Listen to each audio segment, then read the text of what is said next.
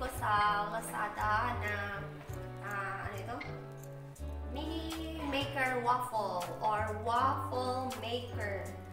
In-order ko to kasi ah, face-to-face -face classes na naman kami dito sa Thailand and every time umuwi ako, nagugutom ko and ito yung naisip ko na eh, para madali ako makaluto ng waffle. Mahilig kasi ako sa pancake So kung pancake, yun, marami pang dapat i-ready.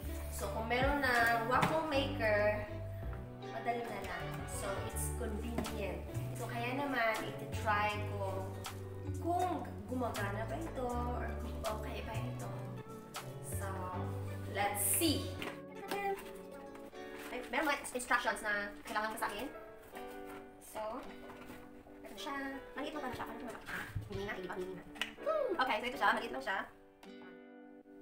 So, gumamit na ako ng pancake mixture. Pero dadagdagan ko lang siya ng, ng egg, milk, and banana.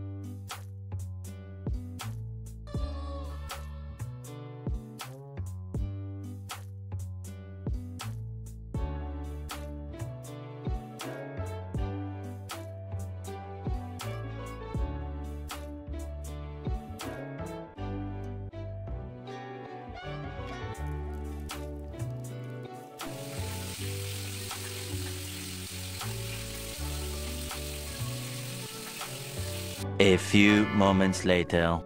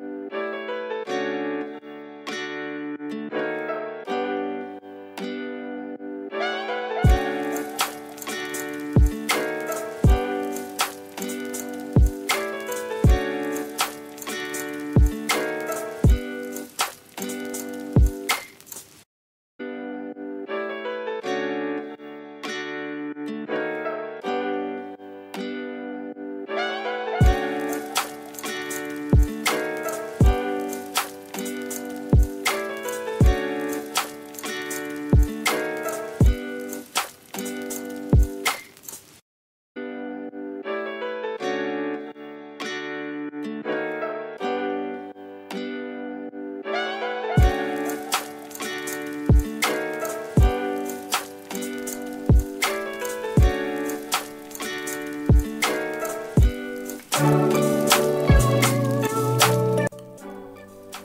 kusa lang siya namamatay pag luto na yung waffle, pag ready na yung waffle.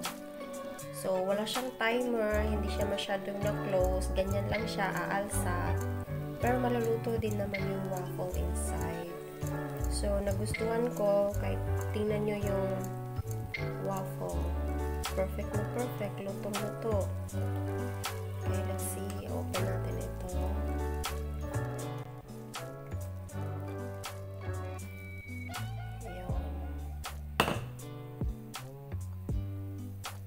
Perfect, di ba? So, eto na. Nagawa kong waffle. 1, 2, 3, 4, 5, 6, 7. So, 7